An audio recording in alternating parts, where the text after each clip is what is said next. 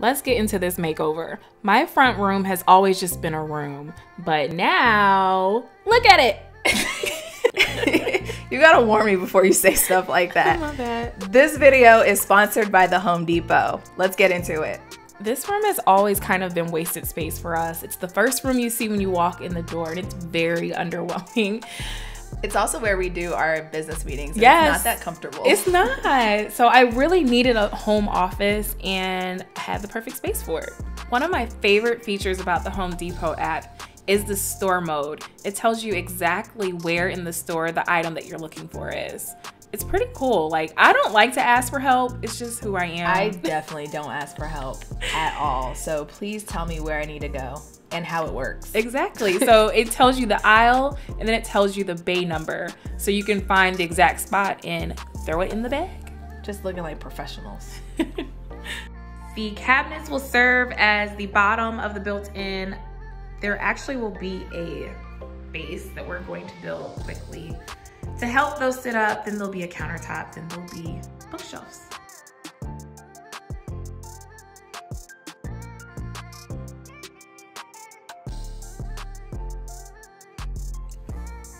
The plan is to assemble these bases for the cabinets to sit on. That will make my cabinets, I got 12 inch cabinets. Um, the base is 18. So I'll put like little stoppers in the back to fill up the space, but this base will help my cabinet sit up so that my countertop actually clears this and I don't have to remove any of my trim because I didn't want to remove it. The base assembly was super easy. Basically just took some 2x4s and some scrap plywood that was sitting in the garage and attached them. We used two inch screws to connect the plywood to the 2x4s. At this point, we have a system now. I drilled the pilot holes and then Kat comes in behind me and screws in the screws. So I am more of a, I like plans. I like to know exactly what I need to do person. Danette? I like to wing it, but the tape also helps us visualize what we're about to mess up. Uh, to install the countertop, I'm actually putting these spacers in there so that there's a contact point.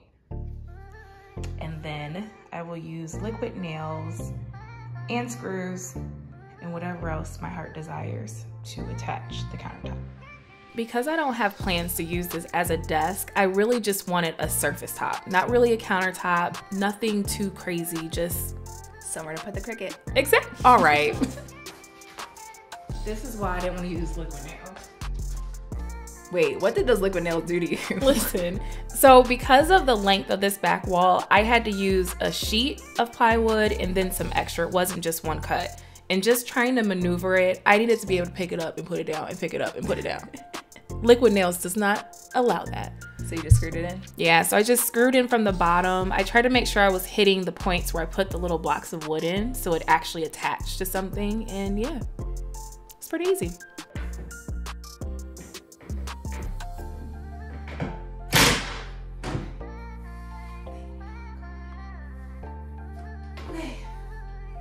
One down.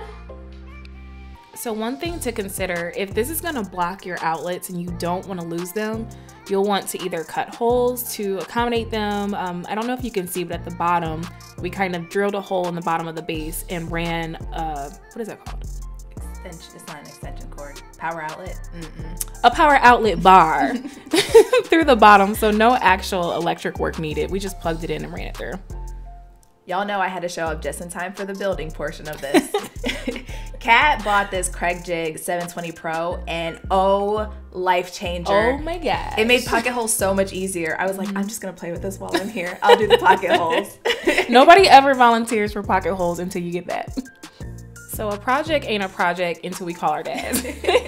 I really don't know why he still answers my phone calls, but um, he helps me get the bookshelves that we built onto the cabinet tops and really position them and get them ready to attach to the wall.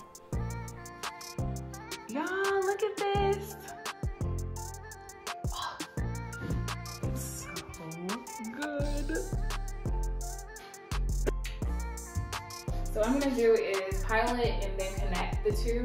Um, you'll just wanna make sure you use a screw size that doesn't go through. So this is two, three quarter inches, I have an inch and a half. You could probably go inch and a quarter to be safe, but I'm using one of that.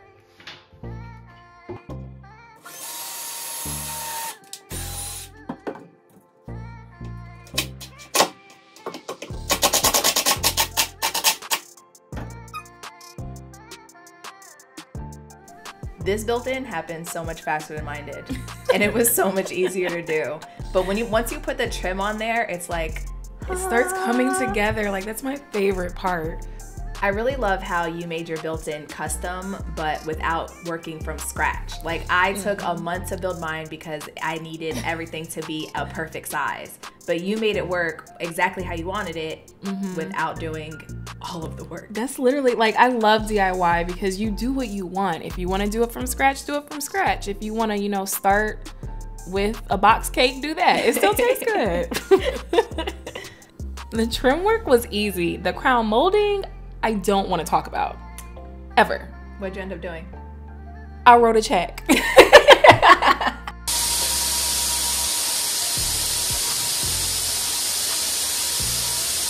because wood kind of absorbs paint differently, I made sure I primed the cabinets um, before we took our sprayers to it.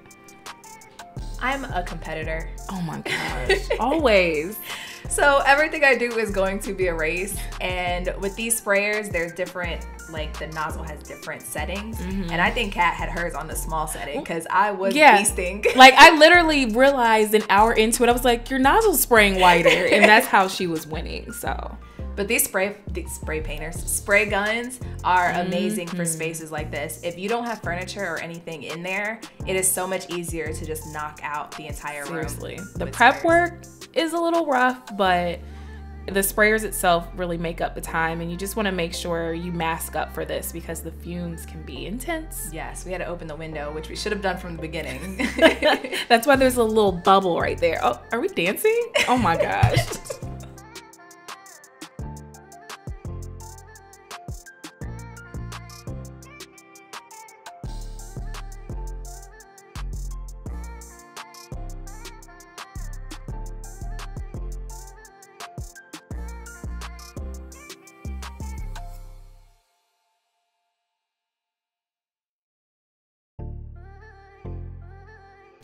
The painting is done. It looks so good. And this is where I clock out on this project. It's time to shop, y'all. I'm ready.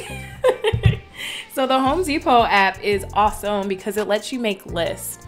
Um, when I go to the store, I need direction because otherwise I'm in every aisle. But you can type in what you're looking for and then you just click the little heart and it adds it to your list. The list also serves as like a mood board. If you scroll through your list and things just aren't looking right in there, you kind of know you can eliminate from that from your list. Let me tell you, once you see that price at the bottom, you'll start eliminating things immediately.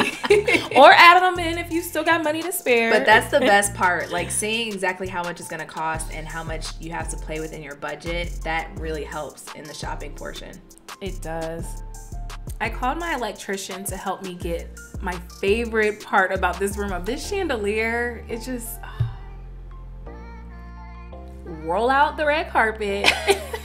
this was literally the first thing I bought for this room. I bought it months ago. It's been sitting in the corner and I based this entire room off of this rug. And it was a good choice because Thank oh my god, it sets it off. It just it added so many different colors. It just made it pop. It, I, I love this rug. Thank you, Home Depot.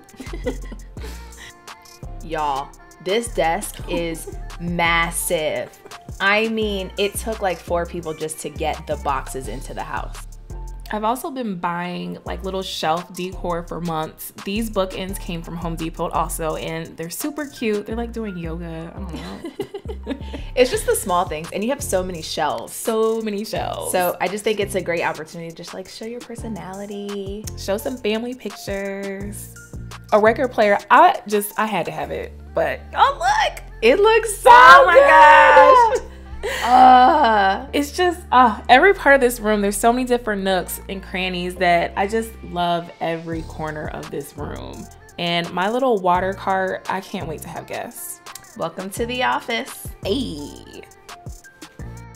The capabilities of the Home Depot app made this project so much easier for us to work on. It was less intimidating and we had all of the steps we needed. It's so easy to download. Just go to wherever you download your apps and it'll be there. When you first download the app, it even gives you a tour of all the capabilities. I'm talking augmented reality. It shows you the store locator, of course, as well as showing you lists and different project calculators. Y'all just get the app. Just get it. And thank you to our friends at the Home Depot for sponsoring this project. We couldn't do it without you. And thank you, Daddy, for helping me. As always, make sure you subscribe to our channel, turn on your notifications so you don't miss a video. And for all of our behind the scenes action, make sure you follow us on Instagram at Material Curls. Bye. Bye.